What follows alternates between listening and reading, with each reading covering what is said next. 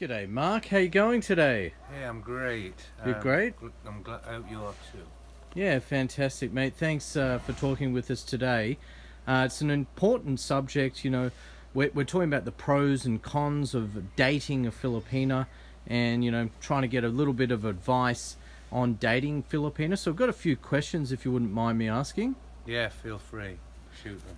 Now, before we jump into it, you are married to a Filipina. That's right. Correct. Yes. You are married. Happily married. Fantastic. I believe you've got a tattoo as well. Can we see that one? Yeah. It's an unusual one, Nina. but when you turn it round, there's my and name. Mark, that's very sweet, mate. Very sweet. So you must love her a lot to. That's to do I that. Do. I do. She's a, she's a one-off, and and and Filipinos are. You know, at my, at my age, I'm in my fifties, and I go back. If I went back to Europe, um, what am I going to get here? Um, you get a beautiful lady, maybe just a few years younger than you. Okay. Um, they cook, they clean. They're here to please you. They're not here to argue and say do it yourself. They they're brought up to look after Wow. their partners. Wow. So you reckon you can find a proper partner and, and a good wife here in the Philippines? Oh, very much so. It doesn't matter whether you're the Richard Geres of this world or whoever. They love you for you and not for your looks. Some love you for your ATM card, but that's another story.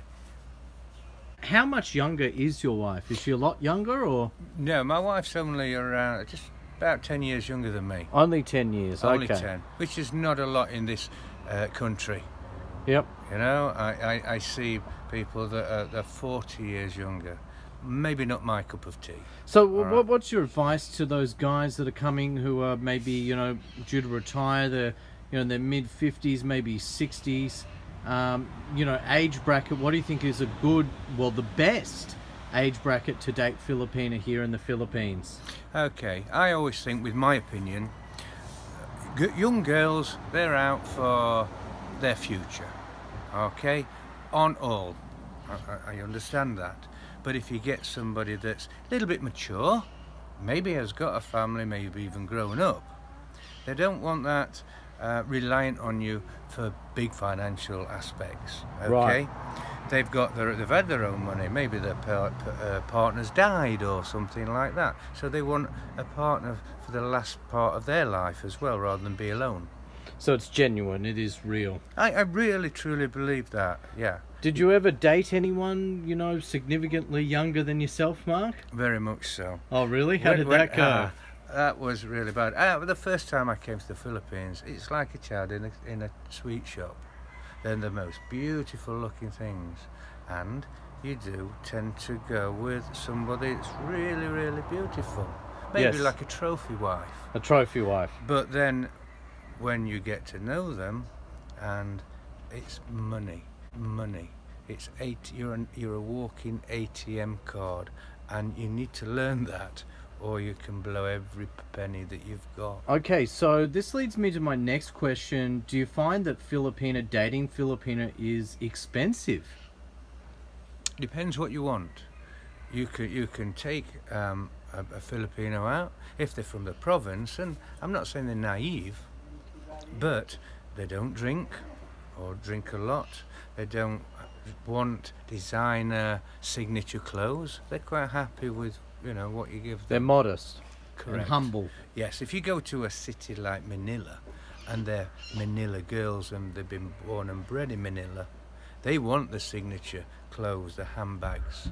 Right. You know, the the gold card with their name on. The gold card, wow. You know, so um, be careful. It's about the person. it's about the person, and you know, I was with one for a long time. You don't know how many years you can be with them, five, six years, and then they turn. You know, wow. it's you've got to be on your guard. They are beautiful. They really are beautiful, but you know, you've got to be on your guard. So you've you've heard shockers, some horror stories where you know men, you know older men have dated younger women and they've they've taken them for everything. Yeah. Mate, I could write a book. The people that I know personally that have lost houses, Oh, that have lost everything, everything, because obviously in the Philippines, it's owned by them. Okay. Okay. You can't get divorced, so that's where I'm confused. Uh, uh, can you get divorced in the Philippines? I think it, that uh, the president has actually signed something that divorce. but not um, yet, right? No, I think I think it's coming, but they can just walk away, they, and, and and and because you're a foreigner, uh, it doesn't matter how much money you spend at it with the uh, solicitors at courts, you'll never win. So if, whatever you buy, whether it's your girlfriend or, or maybe your wife, prepare to lose it. and Prepare to walk- lose it. Prepare to lose it and walk away. But having Apart said- from maybe Subic Bay or Clark Pampanga, where you can buy in your own name, or a condominium in AC or Manila. Very much so. You can do that here and it remains your own. So you recommend buying a condo over, you know, just getting off topic here, but um, you re- recommend buying a condo or something in your name rather than your wife's name or a girlfriend's name? I would think for your own protection, if you've worked all your life for your money and it's not your wife, it's your girlfriend that you've known a few weeks, a few months. Yeah. Fooling his money is easily parted. Now, I, I know a story from a very, very rich banker um, that lived in Angeles, and he had a fantastic house, but only lived here for so many months of the year because it gets too hot. And he didn't speak to his girlfriend of six years for a few weeks. So he, he alarm bells, and he went back. He came back without telling her. Everything was packaged. So he managed to. She changed the locks. He managed to get in, Wow. and the car had gone, etc. But and she'd gone. He managed to replace his furniture, etc. And then one day, the official guys come and said she'd sold the house. Oh. Oh. So he had to buy the house back again because he loved it. Can you trust? You know, same as Western. Well, can can you trust? Do you, do you think you know? Generally speaking, are Filipina trustworthy and are they faithful? I think so generally. You, you have good and bad whether no matter what nationality they're from, male and female, you know. But you've just got to trust them and work with them and get your you know your second sense. If it's not right, it probably isn't. Yeah. Yeah. So think with your head. Rather than anything yeah. else. rather than anything else. So you've got to think with your head. Find someone that is trustworthy, maybe a bit more educated, etc. Uh, wow, there's some fighter jets in the background there. Look at that. Oh, yeah. That's cool. That's cool. Sorry for the distraction, mate. Uh, Yeah, back to business. yeah, it's beautiful, beautiful here. Yeah, it's lovely here. So look, um, you know, you think they're trustworthy and they're faithful. That that's good to know. Have you ever been cheated or scammed by a Filipino? Oh my word, that could. Um, how long have we got? Um, yes, I was scammed. Sorry to hear Um, that. I was scammed, and I lost quite a lot of almost everything I had. Wow. and that's somebody that I did trust. So, you know, I I, I thought I was a, a really judge of character. I made a mistake. Um, we all make allowed to make a couple of mistakes in life. But And- you, and you hadn't been here too long too, right? No, I hadn't. Yeah. And and um, maybe I was hoodwinked with the beautiful, uh, the, the, the, the cheap alcohol, the lovely sun, the weather, and obviously the beautiful women. And she was younger. She was younger, but not too much younger than me. 20 years? She would, um, no, she's now, I think she's almost, nearly 40 now, and I'm 55. So yeah, 15, 15 years. 15 difference. years. 15, yeah, not much difference. Um, and she walked away with more than I have now. Wow. So, my last question, Mark, if you wouldn't mind, do you have any tips or advice on dating Filipina? And where's the best place to find a good Filipina? One you can trust. Oh, wow, that is a massive question. Very good question. I find just by walking around the malls, you can get some lovely girls. Around the markets, the innocent looking girls. Um, yes, there's dating agencies. That's al- always a good one where you can you can actually pick the ones, you know, try a few out. But like how do you know whether you're dating online or you're dating in person or just trying to find someone, you know, in the malls? How do you know who's who's trustworthy and, and who's not? You know, you got any tips there for us? It's just a matter of um, slow. Don't jump in. Don't let them, um, as they tend to do, is meet you one night and within three or four nights they've moved all the clothes into your apartment. Don't let that happen. So don't rush. No, no, don't rush at all. and that's and, and just keep your pin number to yourself. All right. Well, thank you so much, Mark. Much appreciated. Thank you. And congratulations to you and Nina uh, for getting married. Yeah, thank you very much. Okay, Peter. So, what are the positives of dating a Filipina? Well, it's about as long as my arm. Where can I start, really? So, look, the positive thing about dating Filipina is I personally feel that you can find someone that's trustworthy, someone that can be faithful to you and honest with you.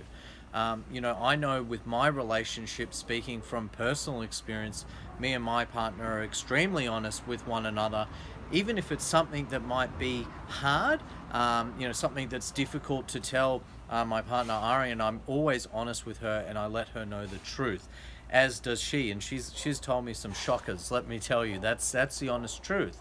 Um, but what I find is, you know, with the honesty, honesty is really the, the foundation of a good relationship. And with that um, honesty, we've been able to overcome, you know, numerous challenges within our relationship. Um, you know, on, on the flip side, that's a pro, um, you know, but one of the cons, you know, one of the uh, bad sides is sometimes Arian, you know, in my relationship, speaking again personally about my personal experience, Arian sometimes gives me tampo. Tampo does happen with Filipina. It's um, something that we all need to be aware of, and sometimes I push too much, and I'll, I'll really push her to talk. i will I'll say something, I want an answer back straight away. I don't like to waste time, um, you know, and I'll get upset if she ignores me or, you know, doesn't answer me back in, in a reasonable time or what I think is reasonable. But obviously, we need to take a step back as men and say, hey, look, well, if a woman's doing that, they're pretty upset. If you push them too far, they might get a bit angry with you. So that's, um, you know, that's the dark side of that. The other thing with Filipina is obviously they're very beautiful. Um, you know, they've got this mixed Spanish blood and uh, Filipina blood. I think uh, you know, Filipina do kind of look like almost Euro-Asian. Filipina are very beautiful. As you may or may not know, this year Catriona Gray actually won Miss Universe. She is Filipina. Uh, she was representing the Philippines, but what some people don't actually know is she's a mixed baby. She's half Filipina and half Australian. So like uh, my myself personally, I am from Australia. I'm an Australian citizen uh, living in in the Philippines, and my partner's Filipina. So obviously, you know, when I have a child, I'm very excited to have, you know, and I will be very proud to have a mixed mixed baby. I think that's a beautiful thing. I think, um, you know, in, interracial uh, relationships are, are, a beautiful thing. I think it's great uh, that we're, you know, knocking down the boundaries that, you know, no longer are we looking at races and that we should mix with the same race. I think that's just silly. I think we should fall in love with the people that we're most attracted to and we feel most comfortable with. Okay, Peter, so what's your advice on all those guys out there who are looking to date a Filipina uh, and where, where they can find a Filipina? Look, that's a really tough question. Um, look, I've got mixed feelings on that. I know guys have had you know relationships with bar girls and been very successful. Um, personally, I don't think it's that easy dating a girl from the bar. You know, you go to the bar, you drink almost every day, and you hope that this chick will fall in love with you. Problem being, you're not the only guy visiting the bar. So my feeling about that is, you know, those women in the bar are much you know, likely to be unfaithful. Unfaithful. So myself personally, I think there are two places where you can actually find real good quality uh, Filipina. And the first place actually, uh, the number one I would suggest is actually online dating. Online dating, uh, there's, you know, numerous apps. There's, uh, uh, you know, Christian Filipina. There's uh, Tinder, Badoo apps. Uh, I'm not so with it anymore because I haven't been on these sites for a long time. There's also tag.com. Uh, lots of websites. There's even groups on Facebook and social media for Filipina looking for foreigners. So there are a lot of options for guys actually looking online and that way you can kind of fossick through and, and find you know someone that's suitable for you okay now some people suggest you know number two is meeting people in person. I think that is also a good way to find someone. But the thing is it's a bit random. So this is my second thing. I mean you can go down to the mall you go to the park and try and find a girl and sometimes you will and sometimes you won't obviously in this day and age you know it's not like it was 10 or even 20 years ago where you could just walk up to a person and say hey how you going? Some people might be a bit oh you know nervous when you do that. It's just not usually done nowadays most people statistics show that most people nowadays are actually meeting online and, and that's the truth i know for myself personally you know i have dated quite a few women and the most most women that I dated in, in the last like five to 10 years were all 100% from online dating. So online dating websites. And uh, actually that's where I met my, my partner now, Arian. So Peter, last question. What would your preference be? A city girl or say a girl from the province? Wow, mates, you're really throwing them at me today. This is a bit of a curveball hard to say either way whether I'd prefer a city girl or a country girl. Um, look, in some ways I do prefer country girls. In other ways, I prefer city girls. So what I will say is this, and this is probably the best advice I can provide, which is, look, for me personally, I want someone that is somewhat educated. So preferably has, you know, a high school diploma, um, if not, you know, a college degree. Um, you know, outside of that, I want someone that preferably has, you know, a, a stable job and income. I want someone that's working. Um, obviously, the benefits of country girls is I find they're more down to earth. They don't want and desire for as much, but you know, that can sometimes be a bad thing too because you know I have desires in my life to achieve certain things and to work really hard. So in some ways, I do want a woman who is, you know, more independent, who's professional and, and, wants to work hard. But I want I want a mix of a woman that has that and, and is professional and independent, but also can be a good partner, a good wife, a good mother, um, and I guess a good housewife. So yeah, it's like I am asking a lot. Uh, there's absolutely no doubt in my mind that I can be really demanding. I know my partner often tells me that I am. Uh, but you know, I want someone that's mixed between city and country. That that's my answer.